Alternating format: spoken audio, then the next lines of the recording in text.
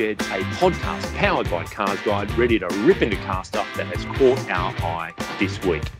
I'm Cars Guide Deputy Editor James, and with me is Senior Editor Matt. Hello. And welcome to new key contributor Byron. Yay! Hello, everybody. Welcome, Byron. oh my god, I'm so excited! I've been Okay. wanting to get on this podcast for days. So Very, very good. Very good. Okay, this week we're looking at the latest news around Ford's Baby Ranger Ute with a little eye on what's happening with the new Ranger we're expecting in 2022. We'll give you our thoughts on some new entrants to the Cars Guide Garage this week and some not so new entrants when it comes to uh, Byron's pick for the week. And we'll catch up with the auto industry's Twitter in chief in this week's MuskWatch. So stay with us. But first of all, we've had some fe- feedback. And um, last week we were talking about the potential for a Nissan Navara Nismo V8, um, a speculative story from our own Andrew Chesterton. That's what he specialises in. He. He, does. He's, he ruminates, he speculates, um, he investigates. And uh, we've had some, some positive and some negative thoughts around the potential for that kind of vehicle. Um, Teresk is Loki owns a Hilux dual cab. He says it's mainly for commuting or off road touring, no heavy loads, but does carry bulky camping gear, and the ute works well for that. Um, he hates diesels, and there's nothing he would consider upgrading to. Thinks a road focused V8 ute would go well. Um, he has a soft spot for the big two wheel drive Tundra V8 utes. Always wish they were available here. So he's probably right in the bullseye of the target market for, for something like that. So he's responded and said, Yeah, I'm up for it if it happens. Well, Now- wouldn't he just buy a Ram? Or, or a Maybe. Jeep or a Jeep Gladiola. I mean Gladiator. And I mean, both of those might be too big. Um, Yeah, I I mean, the, the the Ram may well be too big, but the uh, the Gladiator is a- an interesting thought. But um, yeah, Get out Yeah. there and grab a, a VS Series 3 V8 Commodore Ute. That'll be good. Well, Yes. look, our old mate, our old mate Birdie, um, proud Victorian, uh, Byron, uh, has a VF2 SSV Redline Ute. He owns exactly that vehicle.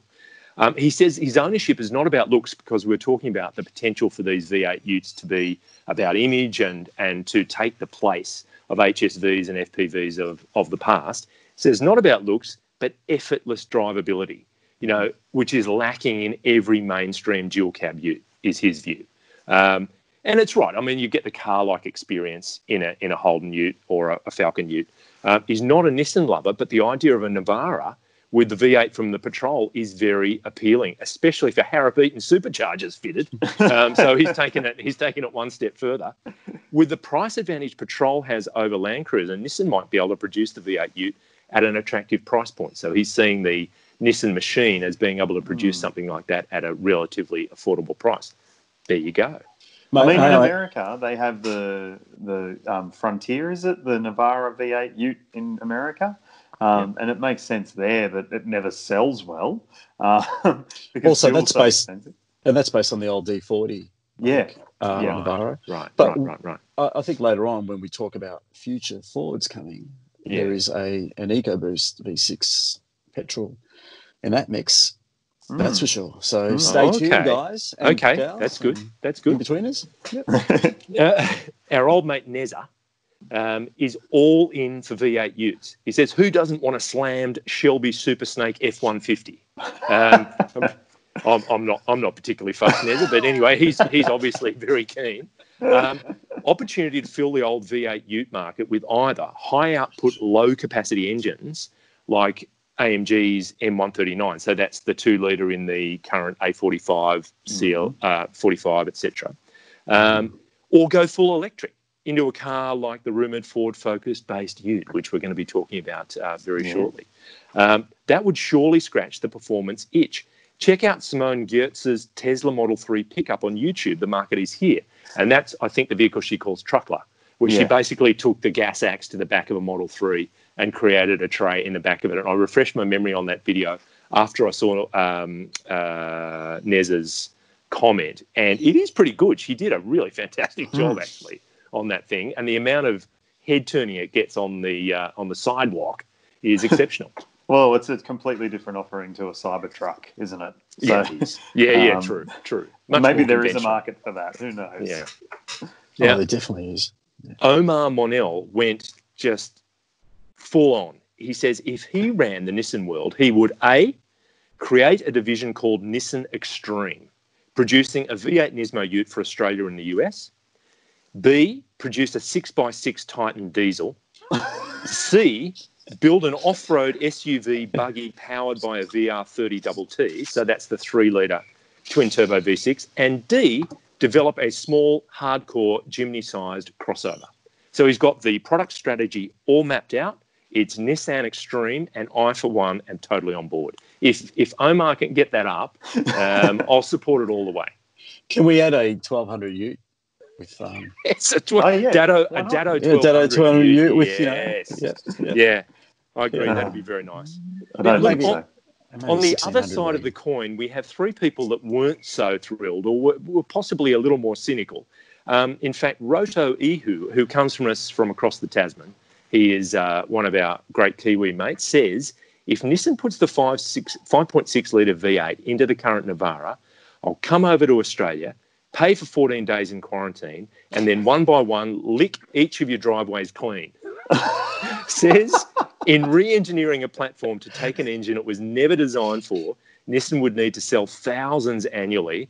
Adding Nissan Australia can't build a case for a right-hand drive Titan conversion, which would cost a fraction of what it might to put a V8 in the Navara. So that's a pretty compelling uh, point of view, I've got to say. Mhm. Um, Jim Danick, I would be surprised if we see many high high riding V8 Utes.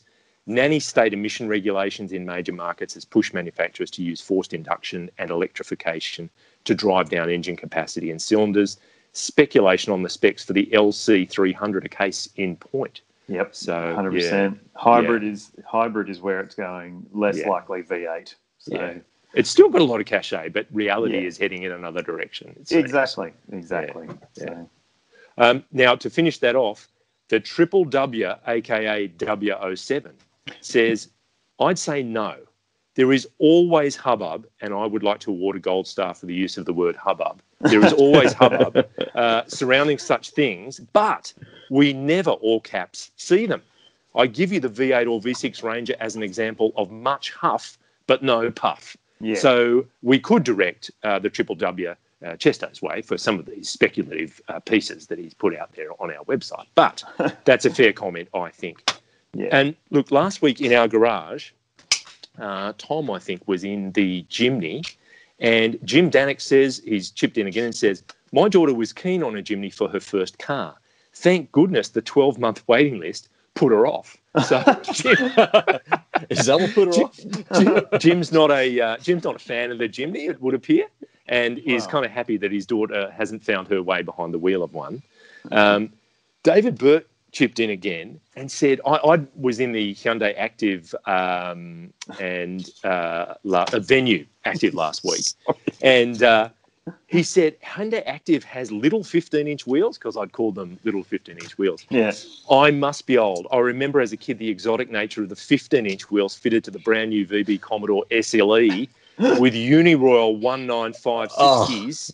I recently tried getting 13 inch rubber for my 30 year old trailer. It wasn't as easy as I thought. Mm. Um, and I thought of mini owners. How about 10 inch Mm. for um, a classic mini? I don't know Yeah. how many suppliers would still. You'd be right into the classic specialist tyre supply. I think I think you have to now actually would have go. thought. I think you've got to go through Lego to get them now. Um, That's right.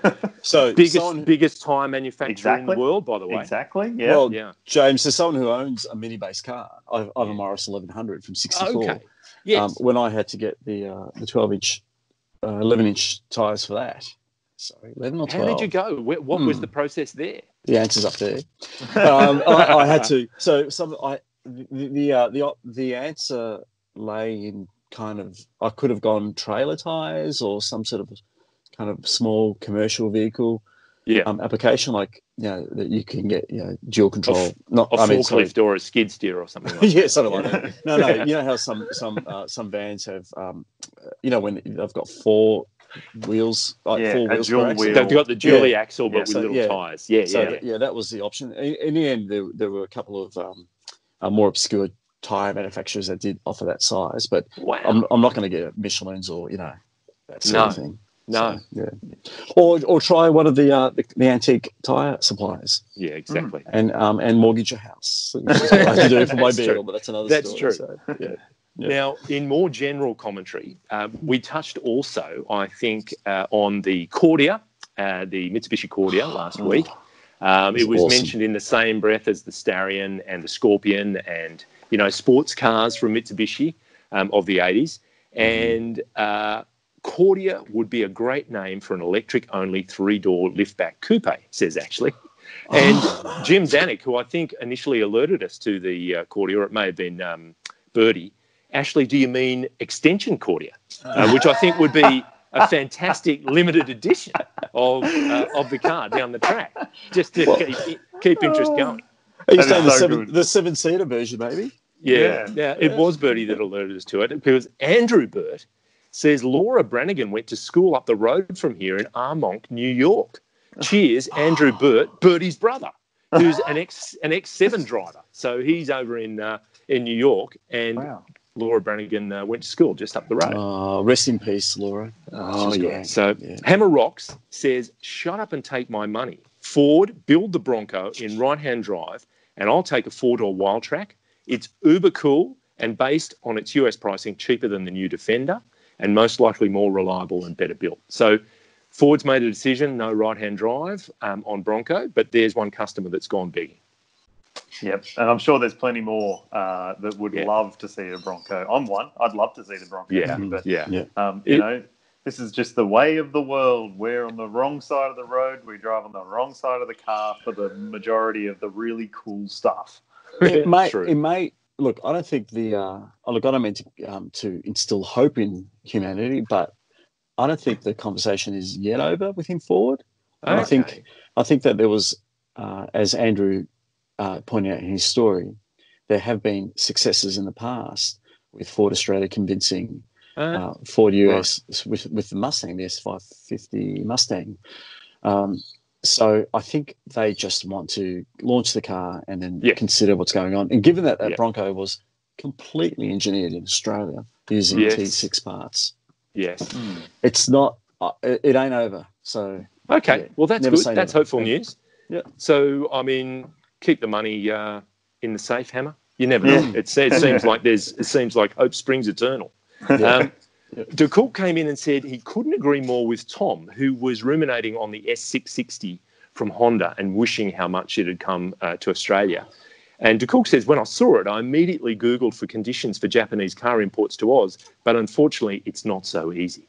I mean, Mm. there, there are plenty of sites that will facil- uh, facilitate that kind of low volume import, but no, it's Yeah. not an easy process by any stretch. There are a few on sale in Australia as well, but they're like thirty thousand to thirty-five thousand dollars. Um, and yeah, I mean, there's other really good cars for that much money, so Yeah, yeah. yeah. I, I would be thinking twice. But uh, it really, becomes a different equation, doesn't it? Yeah. exactly, you, you're paying for exclusivity there. So Yeah, Yeah. yeah, yeah.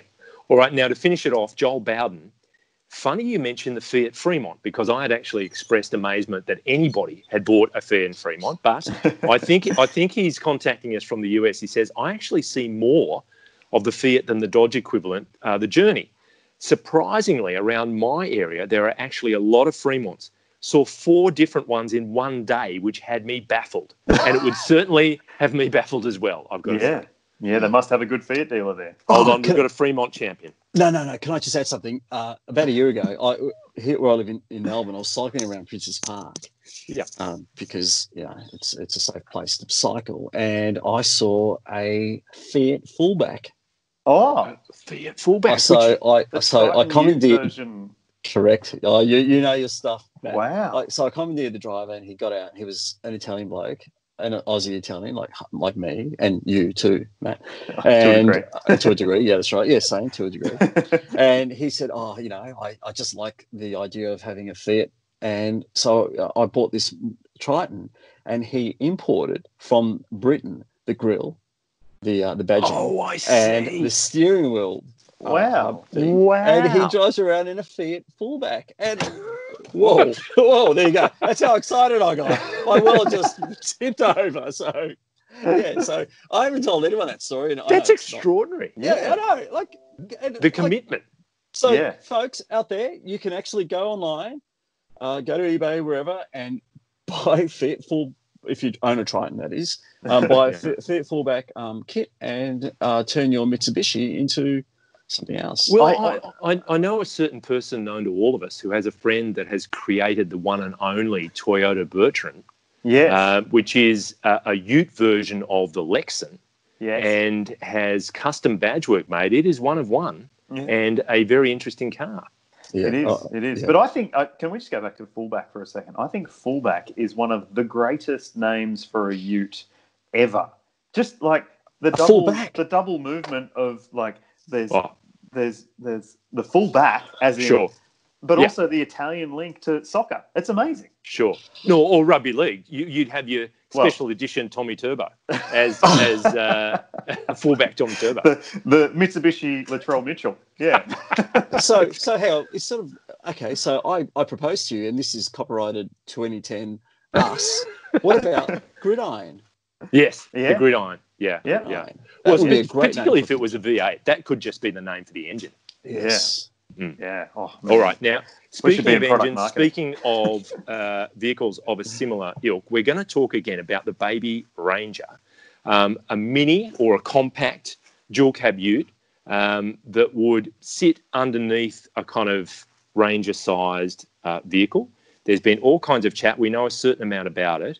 Uh, that it would be based on the Focus Escape uh, platform the the uh, power it would be similar to Hyundai Santa Cruz in that it wouldn't be considered to be a hard working ute. It's more of a, a lifestyle vehicle, um, and it'd be powered by EcoBoost engines, 1.5 and 2 liter. But Byron, you've got some news on whether or not we could potentially be seeing this car here. I have, I have. We should, I should draw this out so to keep you know people waiting. But um, and by the way, should I say we could have easily have said from a um, Mitsubishi with, uh, with with a different badge to uh, the Ford with a different badge Mm. because, um, as you know, the car is rumored to be called the Maverick. And Yes. there was a Ford badge Nissan Patrol known as the Ford Maverick. No, but So there anyway, was. It's show what so Yeah. was. it, it, Yeah. yeah. that's right. So I think we've lost we've lost about half our audience now. From but, but back to but back to the um, to the car that we are assuming is going to be called the Ford Maverick. Yeah. Uh, so that car is essentially for uh, the Central and South American markets and the backy South African markets, where uh, where a Subaru Brumby slash um, Proton Jumbuck style vehicle sells. There's the market yes. where Australia Australia is becoming more and more like North America in that we want our medium sized trucks to actually grow into full size trucks. I mean that is just the trend and uh, I understand that uh, the car has been rejected for Australia because there simply isn't the market. But Um, I, I I wonder if in the vortex that that is left behind by that big rush towards bigger trucks, there isn't an opportunity for something small like that. And I think by the same token, Ford Australia has said, and they, they to your point earlier, Byron, they they quoted the Mustang experience as um, uh, a situation where they were able to petition Ford in in Dearborn and say, look, this is our specific market case, and end up successful.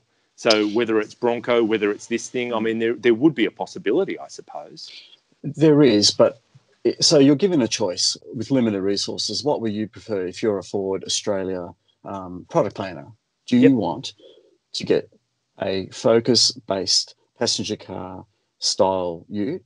Yeah. Or do you want to put the resources behind a Bronco? Mm. Yeah. Yeah. So You know or which we one know, you're more gonna sell more resources behind an F-150. or Yeah. well, so that's another story because the F one fifty and the Ranger will eventually become very closely related towards the end of this decade. Mhm. But that's probably a story for the next podcast or future podcast.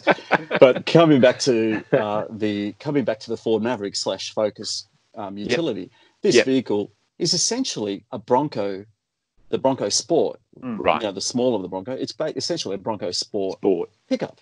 Yep. Yep.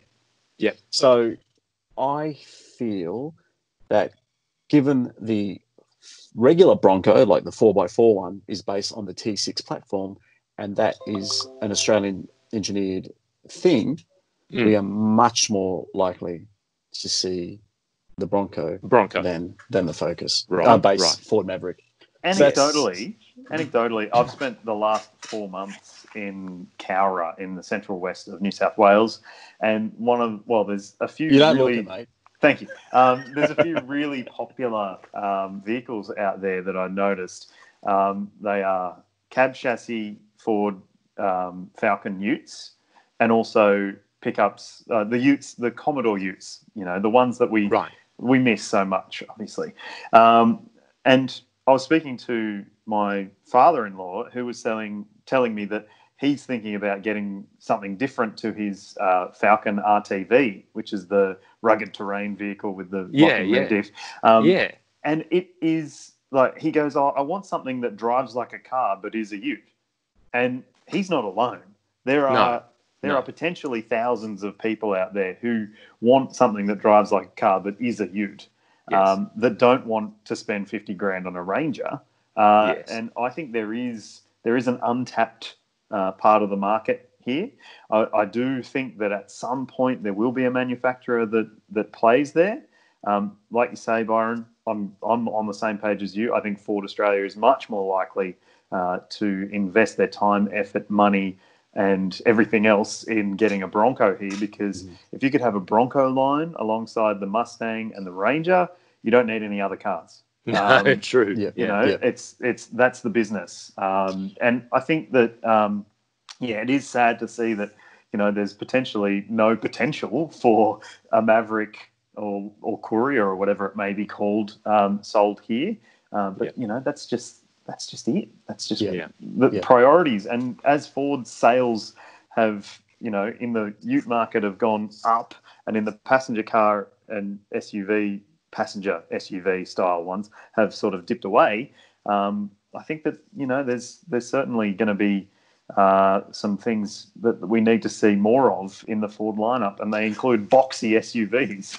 I The- agree. I agree. The only, the only other, one other thing I might tip in there is that Chesto did some digging, and uh, the consensus from what he was able to discover was that pricing in the US for this Maverick would start as low as twenty thousand Mm. um, US dollars.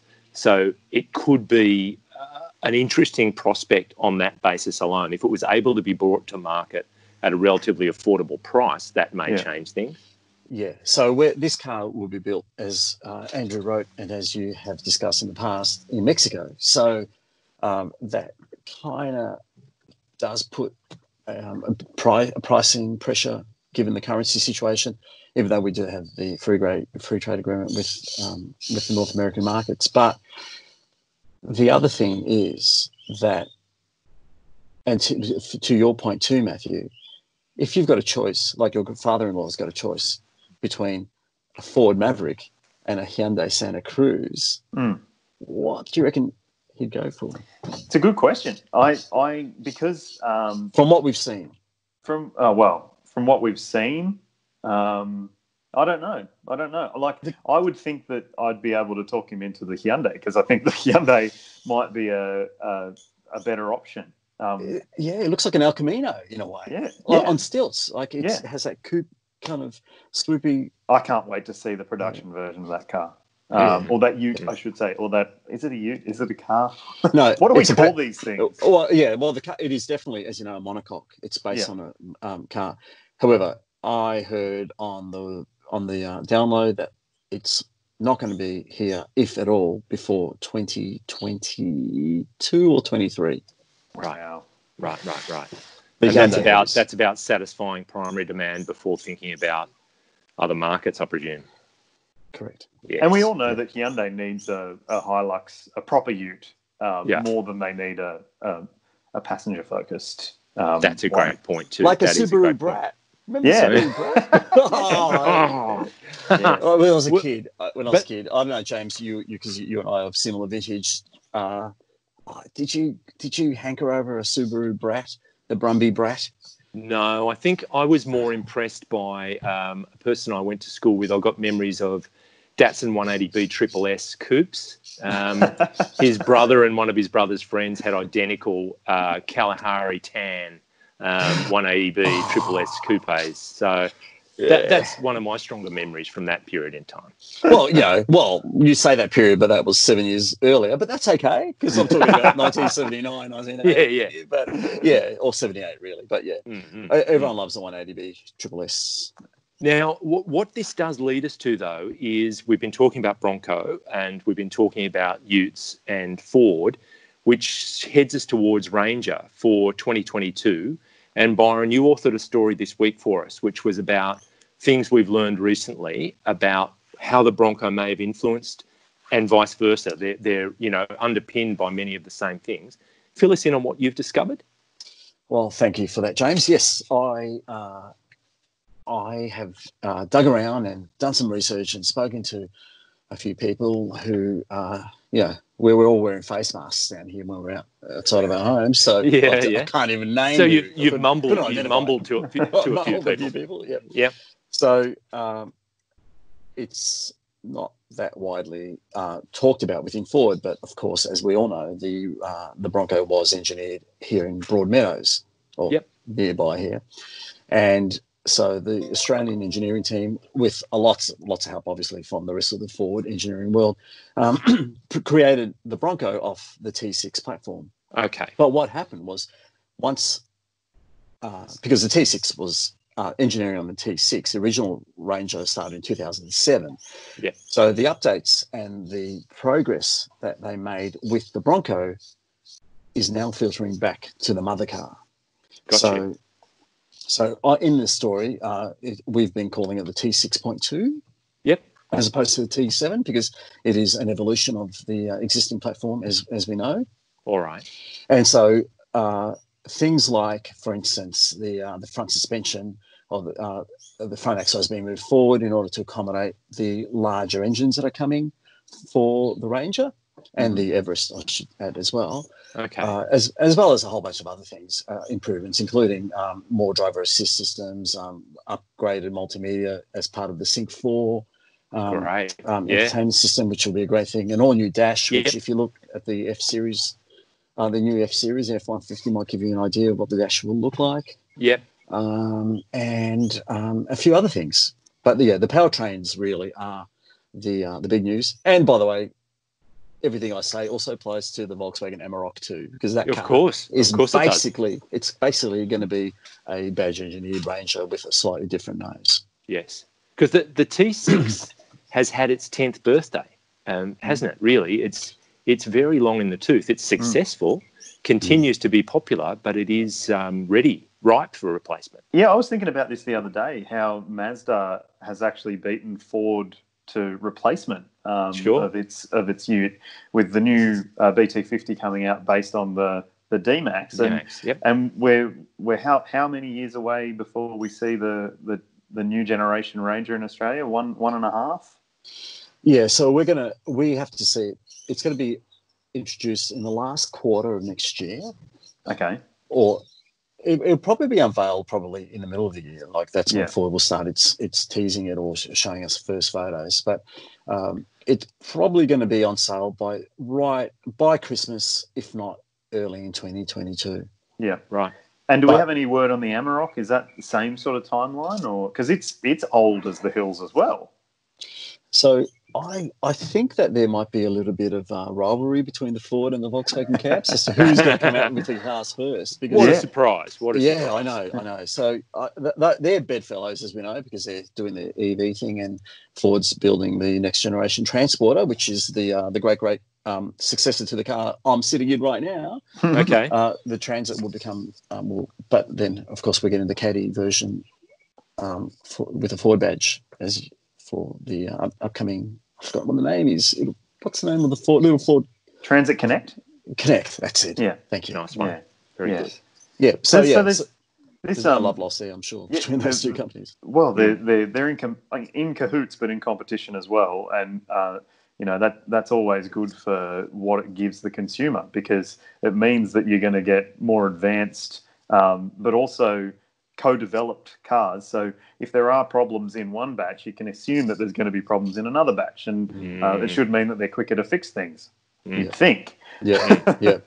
But um, sorry, James. I was just going to say, but further to your point, you were saying earlier, James, uh, about uh, six-cylinder or petrol-powered pickup trucks. Yep. The uh, the V6 EcoBoost 2.7 liter turbo EcoBoost is slated for Yeah. the uh, the 2022 Ranger. So Yeah, yeah. there's your answer there, folks. Interesting. Yeah. And you were also uh, your mail was that there'd be a turbo diesel um, V6 as well. Yeah, that um, comes from. Yeah, I'm using your words, not mine here, but the Power Stroke out of the F150, a version thereof. Is that right? Oh, we love a power stroke. Yes, definitely. um, I've got a Victor lawnmower with a with a power stroke in, in the backyard. So Okay. the um, the that V6, that three liter V6, uh, is doing uh, sterling service in the F series and has been, I think, for a Yeah. number of years. Yeah. And yeah, it's a natural. And of course, that points to the next generation vehicle in the latter half of this decade, Okay. where F1 series, F series, and Ranger will converge. And we know that um, Amarok V6 has been the standout for that Yes. for that model.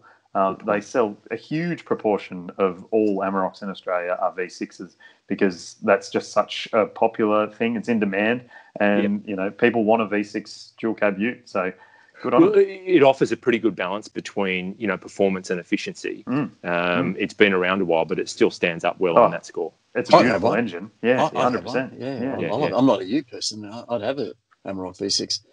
Yep. The, the, the tragedy of that is Australia's the only country in the world basically where the Amarok is fired. Yeah, Yeah. So, Yeah, good exactly. point.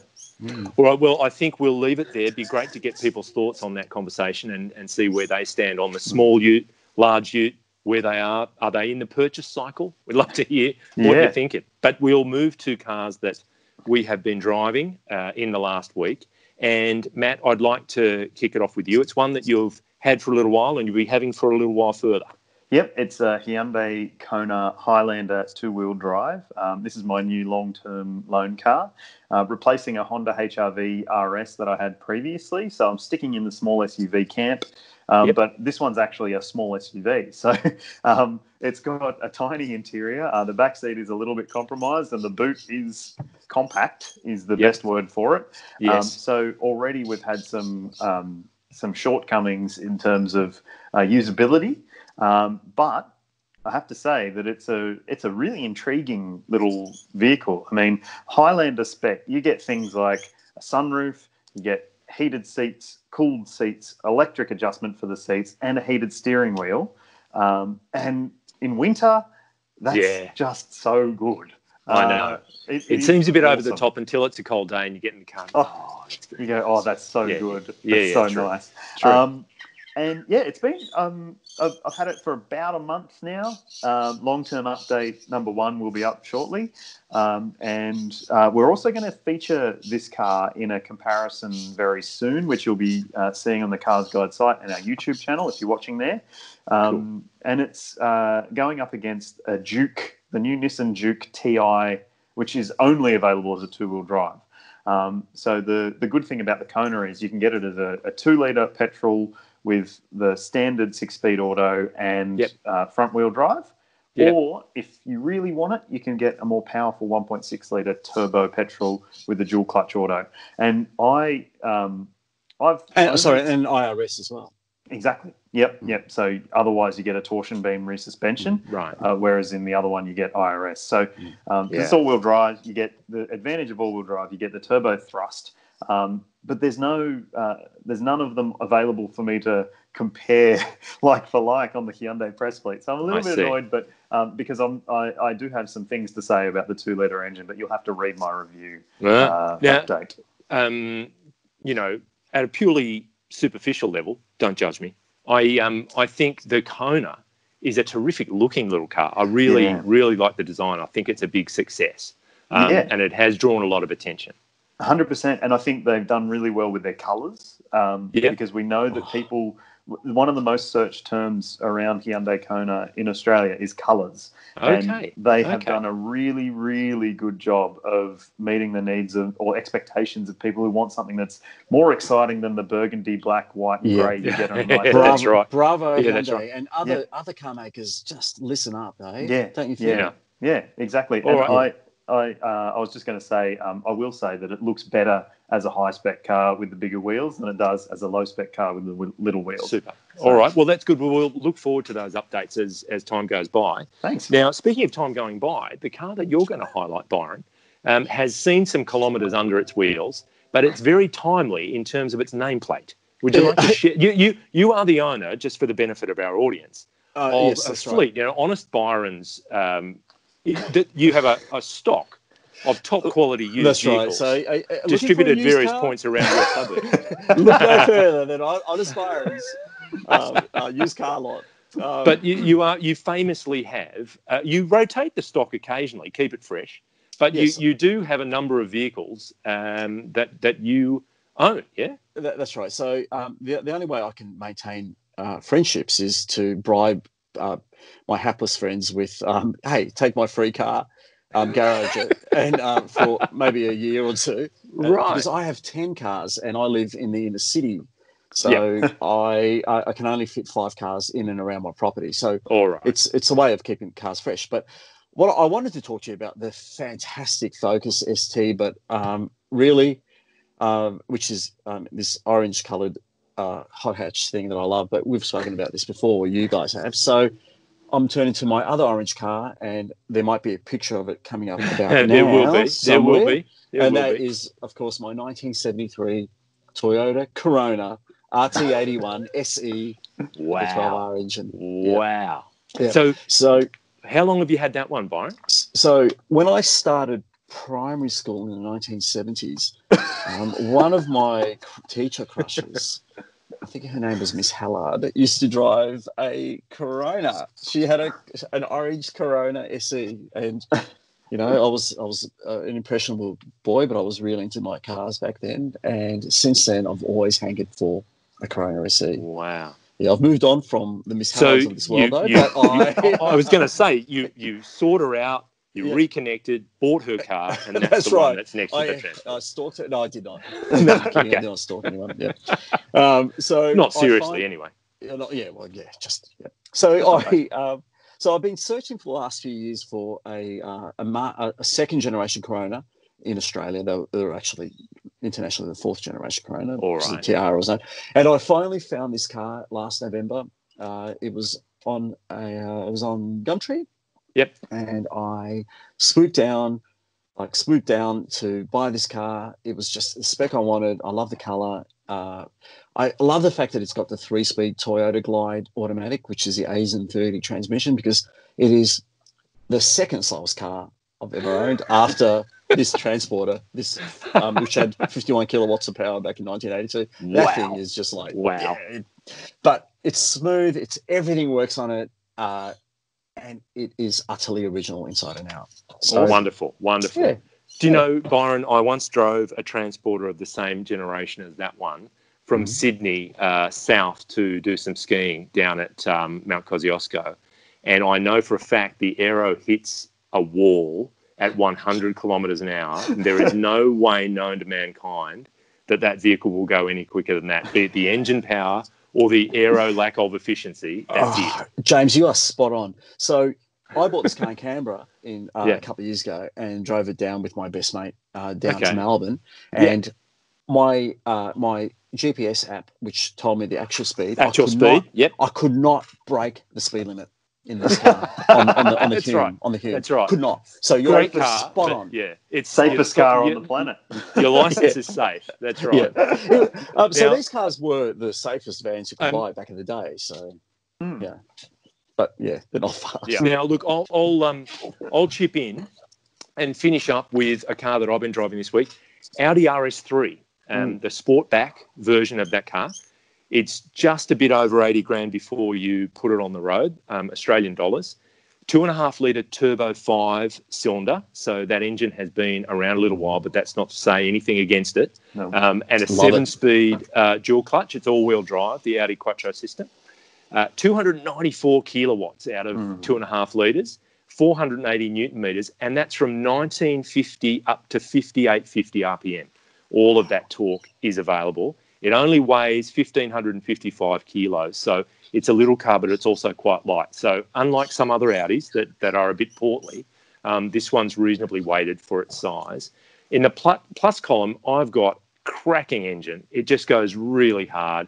Um, in terms of numbers, it's 0 to 100, a bit above four seconds. So that that's really rapid, and it sounds like Walter Röhrl's Sport Quattro from you know the the 1980s. It Yeah. sounds so great. Um, it looks great. The seats are fantastic. It's it's standing up pretty well. The steering wheel, it's I think it's an Alcantara or suede and leather combo. It's very good ergonomically. But then on the on the flip side, it's pretty tight in terms of packaging um, for its size. I think it's showing its age a little bit there. Um, it's particularly squeezy in the back. Um, there are Yeah. some more uh, modern competitors that are a bit better in that regard. Um, and despite the digital instruments, which is that virtual cockpit, which is terrific, it's looking a little dated inside. Um, not that it that's won't put some people off, but just by comparison to your Mercs of this world, with their glassy screens and all of that kind of stuff, it's Mhm. it's looking a little bit off the pace. Um, and a new gen model, I think, is due in a year or so's time. So it is it is in the twilight of, of this generation. And the dual clutch dual clutch I found a bit loose at times, particularly at low parking speeds. You get some of that rollback, which more modern dual clutches aren't. You're not really getting that um, anymore. So that was a bit of a surprise. But overall, I've really enjoyed uh, the week in that car around the city. It was just huge fun. Huge. All right, JC, question. I, I Mm. drove the sedan version a couple of weeks ago.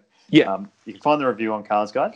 I Uh-huh. loved it as well. Uh-huh. Um, and I just want to know would you go sedan or would you go in the Sportback? I'd go Sportback, um, Yeah. only because from a practicality point of view, I quite like wagons. Mm. Um, I'm a bit of a wagon person. Just the ability to open up that back door without any limitations of the aperture of a boot and just put stuff in for mine is the most practical. James, James, James, James. Well, then the answer is is right there. You could for for the price of an RS3 Sportback, you can buy 14 Volvo 850 turbos with a five pot turbo. oh my God! There you go. There That you would be go. an impressive fleet. Yeah, I Oh. mean that would that's a rental company right there. It's not, Right not, there. not the You right could- time to launch one, but still an Oh. interesting thought. I would rent an 850 turbo wagon off you any day. It's not exactly a catchy business name. Rent a Volvo 850 turbo wagon. No, dot but, dot au. oh no, I would I would have it as how sweet it is. Hey, that's much better. That is much better.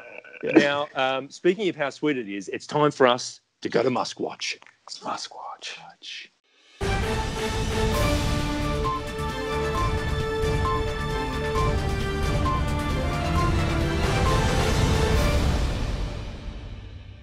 Right. So, the impression I got this week was that the dear leader is bored.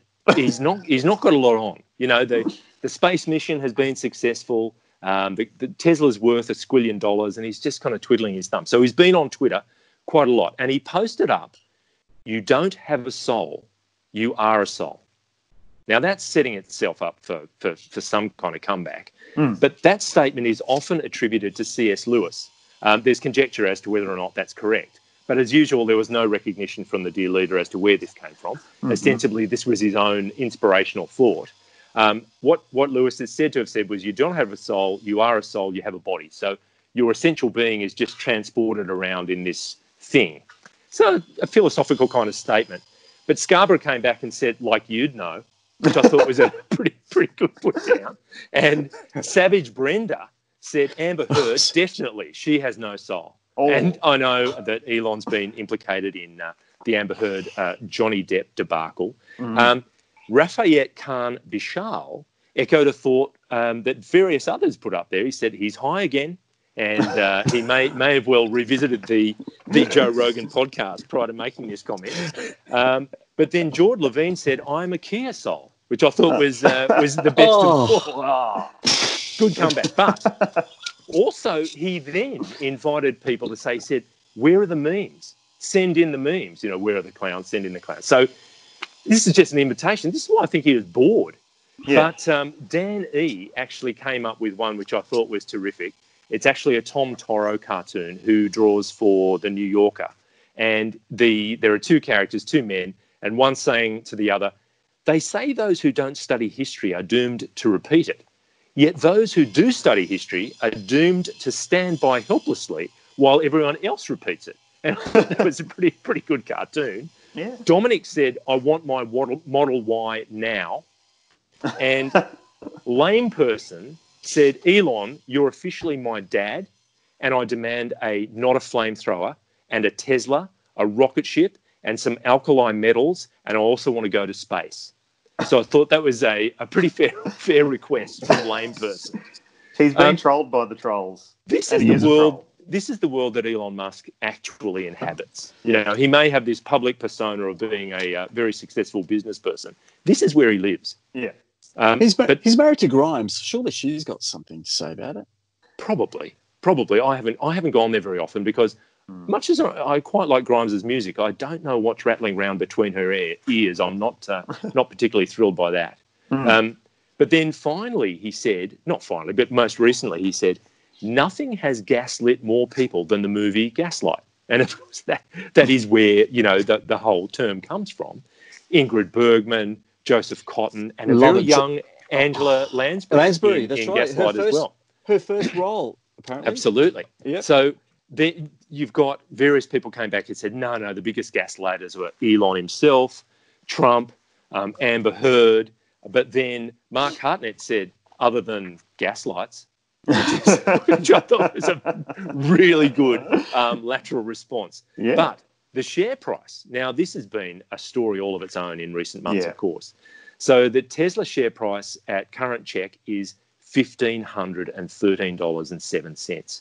So when we checked in last week, it was 1546, so a slight drop back. That, that vertical ascendancy seems to have uh, stopped just for the moment. But during the week, there was a high of $1,677. wow. Um, that was yesterday. So it is still up in that stratospheric space. Is that Aussie um, dollars? Uh, that would be US dollars. Oh, I guess. I guess that's US dollars. Yeah, right. So, Market Watch, in an opinion piece, Elon Musk doesn't want. He said Elon Musk doesn't. He doesn't want Tesla to be super profitable. That's in an earnings call to um, announce Q2 um, profit, which was very tiny. Um, Tesla Inc. chief executive Elon Musk, who heads a company with a valuation approaching 300 billion, doesn't want the electric vehicle maker to be quote super profitable. Um, he, he got his way in the second quarter because they squeezed out a profit of 104 million, and that's on the back of more than 400 million in electric vehicle tax credits, which is a big part. Let's not forget of the Tesla business model. Um, some investors are banking on Tesla becoming the Apple of this world, and it's largely on this whole autonomy, self-driving thing, Mm. um, which to the uninitiated seems like that's where things are going. But to people who have investigated it, even to a mid, middle depth, it's not coming anytime soon, no matter what Elon says, um, as far as I'm concerned.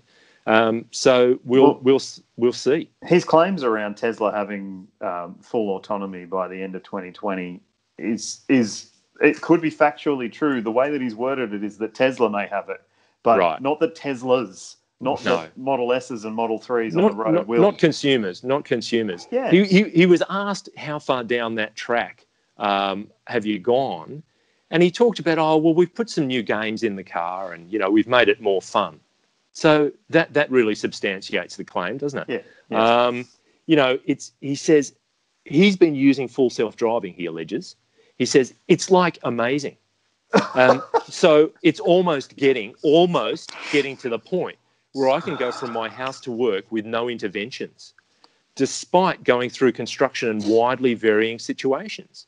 So this is why I am very confident about full self driving and functionality by the end of this year because I'm literally driving it.